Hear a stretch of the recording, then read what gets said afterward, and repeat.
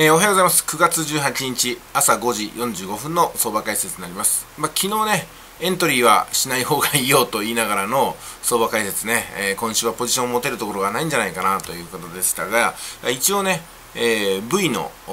字になるか、それとも N になるかってことで、えー、V の字ではなくて N 字になることを確認して、えー、まあ、セルでね、エントリーすることになりました。まあ、上級者の入るところと中級者の入るところと、それから初心者の入るところとね、3点に分けていつものようにお届けしたんですけども、まあ、私はまあ、上級者で入るわけなんで、ポジション取れたんですけども、さあ、今回はね、どういう風になってるのか、チャートの方を見ていきましょう。はい、まずね、週足の方から見ていくんですけども、注意しなくちゃいけないところが、やっぱりここですよね。もうすぐ触れると思うんですけども、この、何と言いますかね、えー、疑惑のライン。ここに当たると、上の方に跳ねるんだよってところが、もうそろそろです。もう今触れてると言ってもいいかもしれないですね。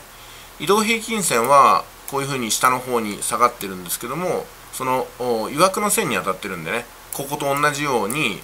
跳ね返って上の方に行く可能性があります。ちょっと用心してね、やっぱりポジションは持たない方がいいのかなと思いますね。うん、で、えまあ、冷やしの方を見ていくと、こういう風になってますね。冷やしは、操作トップが大きくこういうふうにね、スコーンと落ちて、まあ、操作トップの後大きくね、下に下がることってよくあるんですけども、えー、こちらと同じ水準まで来たかなっていうところですね。うん、まあ、これね、あの、昨日もお話ししましたけども、あの、売りの方に傾いてるんですよね。週足と同じように。こういうふうに高値が切り下げられて、急速に、えー、下目線になっているということです。で次が4時間足なんですが4時間足は操作トップをちょっと最初に見ていきましょうか。ここからネックラインがあって操作トップがこういう風に広がっていると。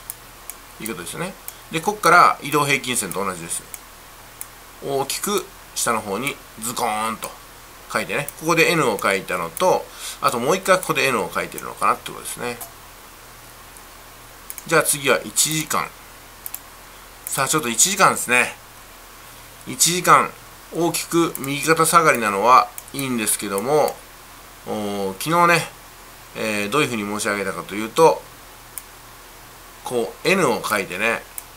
ここから振り下ろすようにここがネックラインですけども V ではなくて N の方に触れてきたっていう話をしました。で上級者の方はここから入るんだよ根っこから入ると。中級者の方はこの辺から入ると。で初心者の方はこの辺ね下のネックラインを越えてから入るんだよってことを申し上げました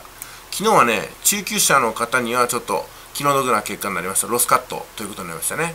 上級者の方はまあ、いくばくか取れているということで、初心者の方はエントリーすらできていないということになりますけども、これはね、取りもなさず、あの、N 字が完成しなかったんですよね。N 字を形成する途中で、別の要因で、今、上の方に上がってますね。もしかしたらこれがね、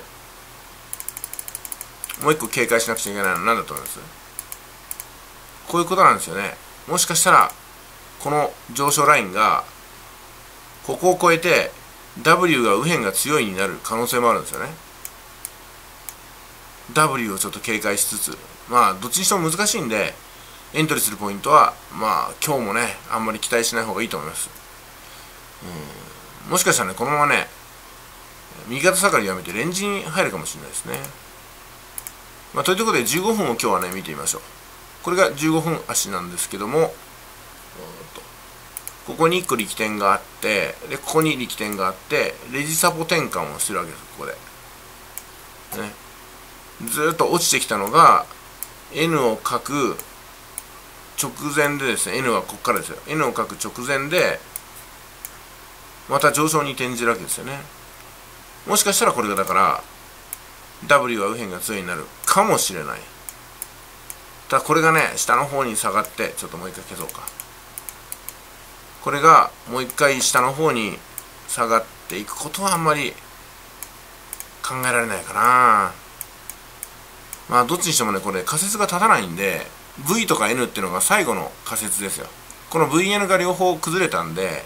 あとはもう見守るだけですね。えー、ということで、えー、チャートの方はちょっと終わっていこうかなと思います。はい、まあ、いかがだったでしょうか。非常にね、あの